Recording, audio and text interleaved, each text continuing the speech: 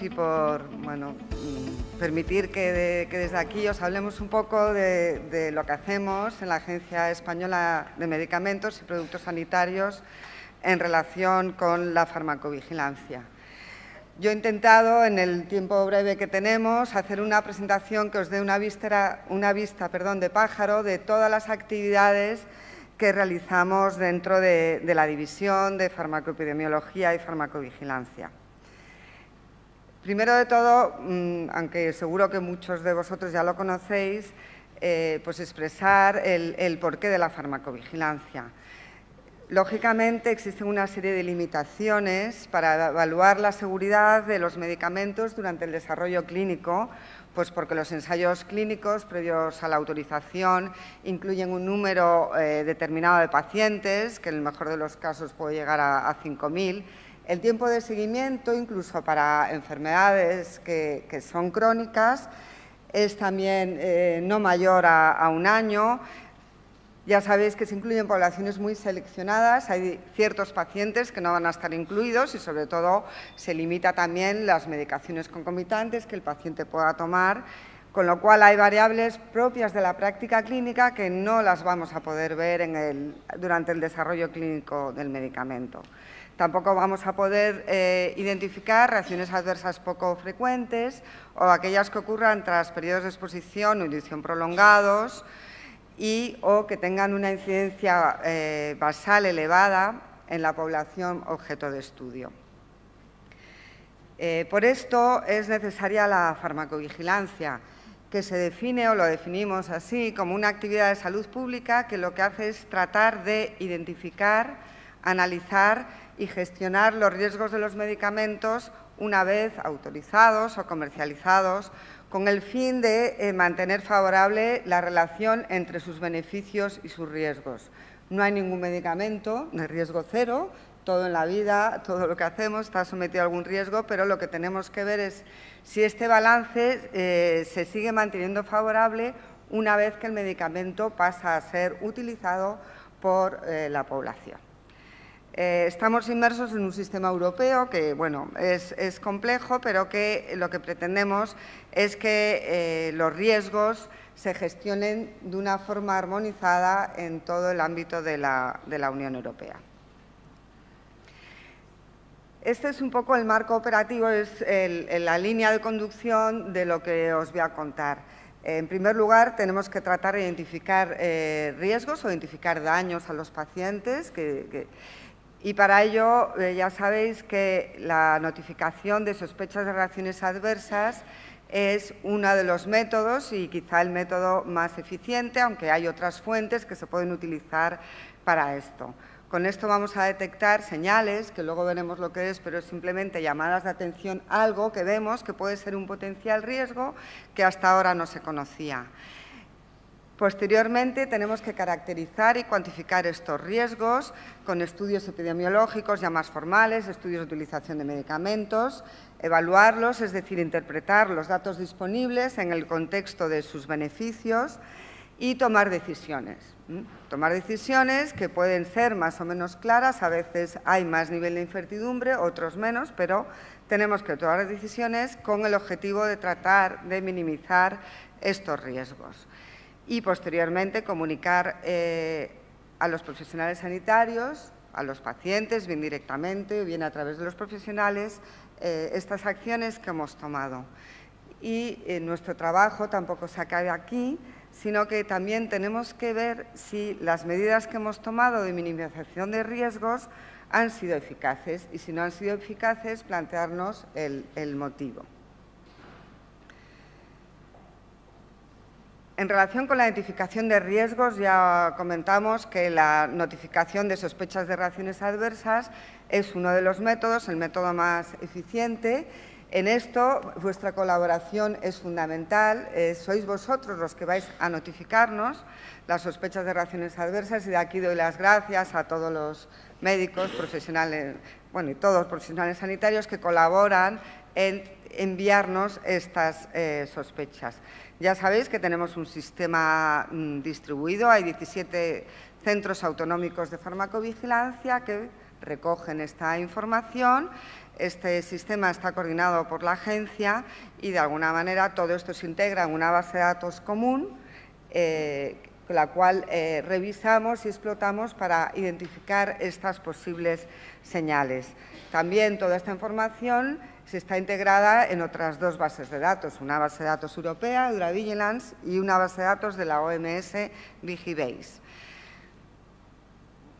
La comunicación eh, se puede hacer por el formato tradicional, por papel, pero desde el año 2012 tenemos también un formato electrónico, eh, www.notificaram.es, eh, que es bastante más cómodo notificar sospechas de reacciones adversas a través de este formato porque se os va guiando y está respaldado por diferentes eh, diccionarios. Y esta notificación está disponible tanto para que lo hagan profesionales sanitarios como ciudadanos.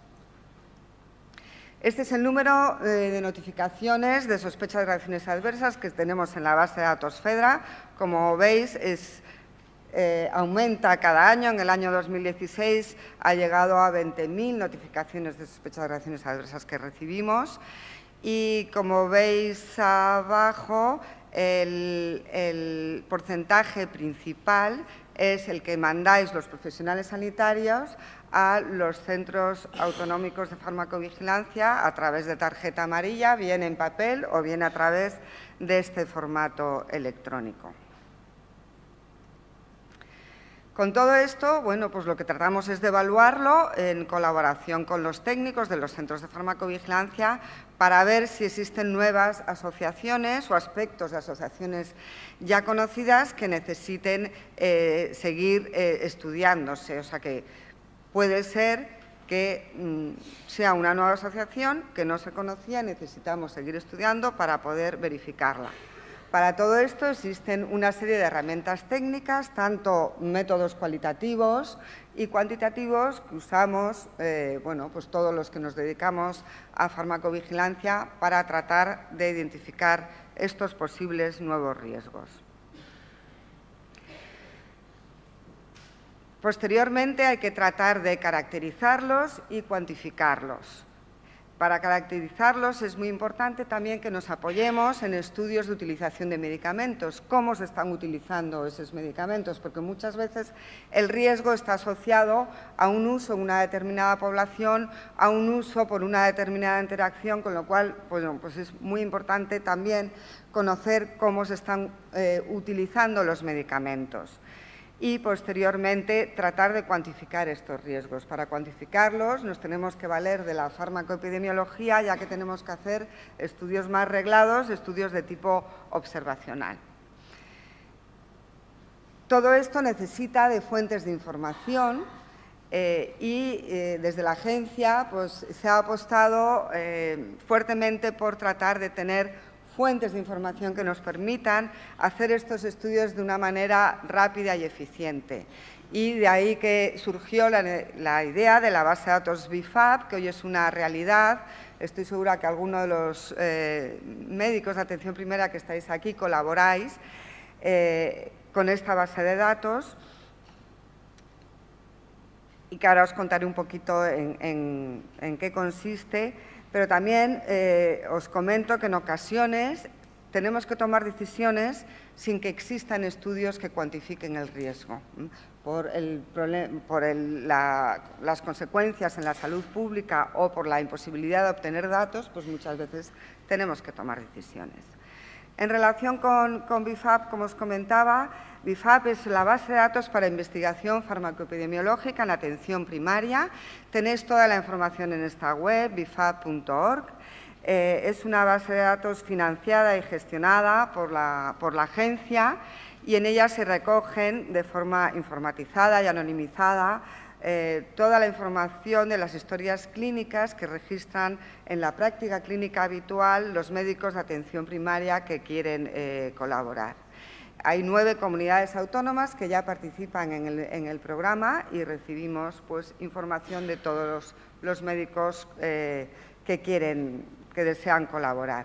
El objetivo de esta base de datos es ayudarnos a realizar estos estudios farmacoepidemiológicos especialmente los relacionados con los patrones de uso y con la seguridad de medicamentos. Pero esta base de datos no es solo para que la agencia haga los estudios y la ayude a tomar decisiones más informadas. Esta base de datos está abierta a que realicen estudios todos los, profesionales eh, sanitarios eh, del país, siempre y cuando sean estudios independientes y no estén financiados o sponsorizados por entidades privadas. Así que desde aquí os animo a todos a que conozcáis esta base de datos y mm, las posibilidades que os puede ofertar. Aquí simplemente unos ejemplos de lo que hacemos con esta base de datos. Esto es, eh, por ejemplo, un estudio de utilización, prevalencia de uso de benzodiazepinas. Aquí hemos comparado los datos de BIFAP, que son los que están arriba en rojo, con los datos de otras bases de datos similares a BIFAP que existen en otros países de la Unión Europea. Aquí hay bases de datos de Reino Unido, de Holanda, de Alemania, de Dinamarca. Como veis, pues la prevalencia de uso de benzodiazepinas en nuestro país es mucho mayor, esto es por 10.000 pacientes años, que la prevalencia de uso eh, de benzodiazepinas en otros países de, nuestro entorno, con lo cual esto nos indica que si hay algún problema de seguridad con benzodiazepinas, realmente nosotros tenemos que incidir eh, mucho más, dado que hay eh, una población expuesta que es mucho más importante que en, otros países. También a esto, bueno, simplemente reflejar que esto es un, estudio que se hizo y que ayudó a tomar las decisiones que se han tomado con los antiinflamatorios no esteroideos. Creo que hay alguna, alguna presentación al respecto eh, se han hecho varias revisiones a nivel europeo de estudios epidemiológicos y uno de los estudios que se manejó fue uno de los estudios que realizados con la base de datos BIFAP, un estudio de casos y controles que evaluaba el riesgo de infarto agudo de miocardio eh, mm, en pacientes expuestos a antiinflamatorios no esteroideos. Con todo esto tenemos que evaluar el riesgo eh, en el contexto del uso terapéutico del medicamento, lo que os comentaba anteriormente, que hay que ponerlo en, la perspectiva, lógicamente, del beneficio. Para ello eh, se evalúan periódicamente todos los datos que se van generando, de notificaciones espontáneas, de estudios clínicos, preclínicos, publicaciones, etcétera, y todo esto lo hacemos en colaboración con la red de agencias del resto de países europeos y coordinados dentro de la Agencia Europea de Medicamentos. Y en el seno de lo que habéis oído hablar, el PRAC, que es el Comité para la Evaluación de Riesgos en Farmacovigilancia. Compartimos el trabajo, compartimos nuestras evaluaciones y nos reunimos periódicamente en el seno de la Agencia Europea de Medicamentos todos eh, expertos de todos los países eh, de la Unión Europea, mm, expertos en farmacovigilancia, y además hay una serie de expertos que nombra directamente la Comisión Europea y también eh, acuden a estas reuniones representantes de los pacientes y representantes de los profesionales sanitarios. En el seno de, este comité lo que tratamos entre todos es de tomar medidas que ayudan a minimizar los riesgos que pueden derivarse de la utilización de medicamento. Muchas veces son actividades rutinarias, simplemente incluir en la fecha técnica, prospecto, el envase, alguna información. Otras veces pues, modificamos las condiciones de prescripción y también tomamos medidas adicionales. A veces eh, se le obliga a las compañías a que hagan materiales específicos para eh, bueno, mm, explicar eh, riesgos que van, mm, documentación que va más allá de la ficha técnica, otras veces emitimos notas informativas, obligamos a las compañías a que emitan también cartas y bueno, pues otras veces tomamos otras medidas como programas de acceso restringido a los medicamentos, registros de pacientes que estén tomando esos determinados medicamentos y ya en ocasiones, las más extremas, pues mm, se puede llegar hasta retirar el medicamento del mercado, cuando ese balance pues, se determina que no es favorable. ¿Cómo comunicamos estos riesgos eh, a los profesionales sanitarios?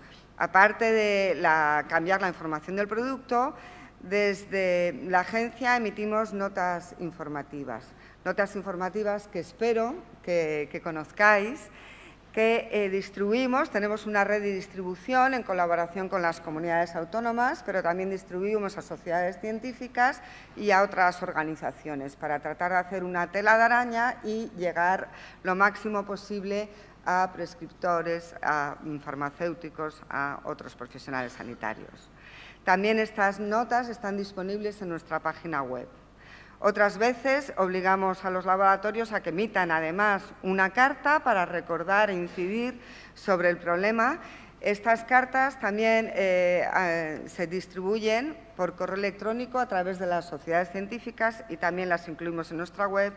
Y como comentaba, a veces eh, se elaboran mm, documentos más exhaustivos que en Europa se conocen como materiales educativos. A nosotros no nos gusta este nombre y los hemos llamado aquí materiales de prevención de riesgos. Me gustaría, mm, ya que tengo esta oportunidad, incidir en que toda esta información la podéis encontrar en la página web de la Agencia Española de Medicamentos. En la página web eh, tenemos un centro de información online de medicamentos y aquí podéis preguntar por cualquier medicamento, por el principio activo, Podéis también preguntar por algún excipiente para en casos de alergia.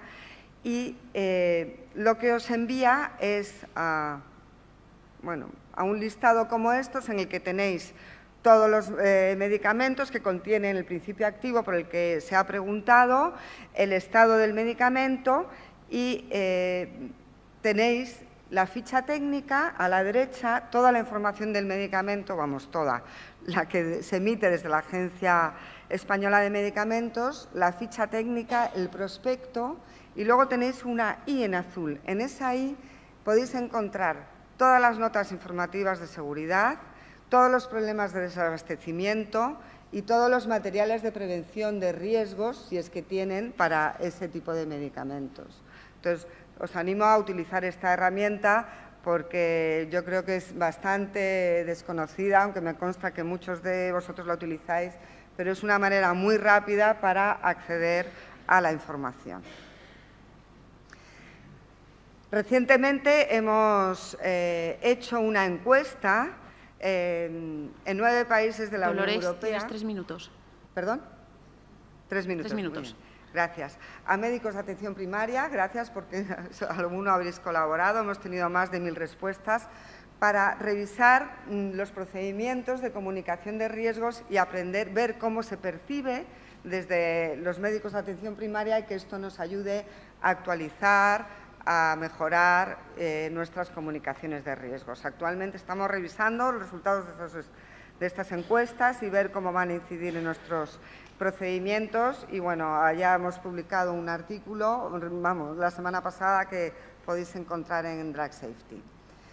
Y simplemente, y esta es la última para acabar, eh, también tratamos de medir el impacto de las medidas. Muchas veces nos sale muy bien, otras veces no tan bien. Y aunque es una gráfica un poco abigarrada, es bastante, este es el impacto de, o las consecuencias que tuvo la retirada del tetrazepam en nuestro medio. Esto también son datos sacados de, de BIFAP y lo que veis es en la línea azul clara, en la segunda línea, que mientras el, consumo de tetrazepam bajó hasta llegar a cero cuando se retiró del mercado, lo que vemos es que automáticamente hay un incremento en la utilización de diazepam como eh, miorelajante. bueno, pues eh, realmente la medida que tomamos no, es una medida europea, nosotros teníamos nuestro propio criterio, pero no fue el que primó, pero que la consecuencia de la retirada del tetrazepam creemos que fue peor que el haber mantenido el tetrazepam en el mercado. Como conclusiones, simplemente eh, incluir aquí unos puntos. La farmacovigilancia es una actividad compleja en la que deben tenerse en cuenta multitud de factores y se manejan datos muy heterogéneos. La toma de decisiones se realiza en ocasiones con cierto grado de incertidumbre, primando siempre la, protección del paciente. Las decisiones deben explicarse a los profesionales sanitarios y a los pacientes, y en esto es lo que queremos mejorar con resultados derivados de la, encuesta. Y es imprescindible tener en cuenta el lugar del medicamento en la terapéutica y las alternativas disponibles antes de tomar eh, las decisiones. Muchísimas gracias.